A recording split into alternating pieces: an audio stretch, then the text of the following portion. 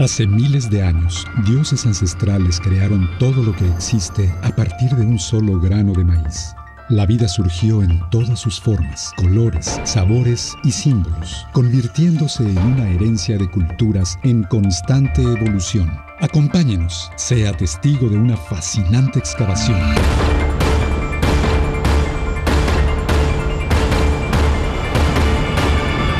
Haga suyas las joyas de México.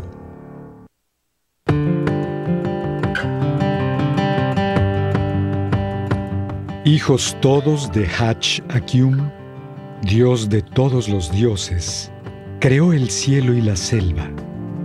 En el cielo sembró las estrellas y en la selva sembró árboles. Son una sola las raíces de los árboles y las raíces de las estrellas. Son una sola las raíces de tus hijos chiapanecos. Por eso, cuando nace un árbol, nace una estrella. Y mientras eso pase, nacerán guardianes que cuiden de ellas.